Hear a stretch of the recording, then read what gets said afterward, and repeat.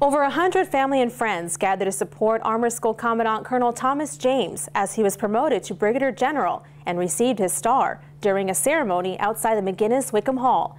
Our Ron Andruss was there and brings us this special event.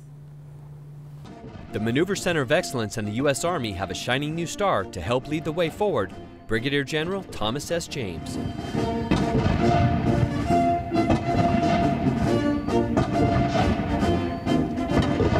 Ladies and gentlemen, please welcome the Commandant of the United States Army Armor School, Brigadier General Thomas S. James.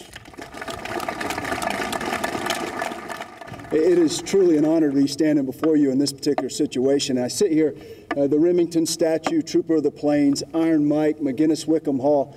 That this truly represents hallowed ground, and I am honored to be here, and thanks to all for coming. I stand before you humbled honored, and blessed.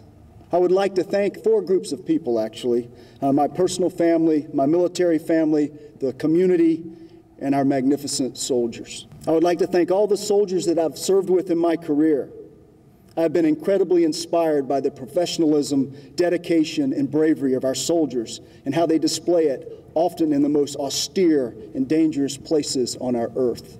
Soldiering is an affair of the heart. The strength of our nation is our army, the strength of our army is our soldiers, and the strength of our soldiers is our families. That is what makes us Army strong. God bless those soldiers that have paid the ultimate sacrifice. God bless those soldiers that have lifelong challenging injuries and those that are in harm's way today as they continue to preserve freedom. Thank you all for coming today. God bless you on this wonderful day. One force, one fight, forge the Thunderbolt.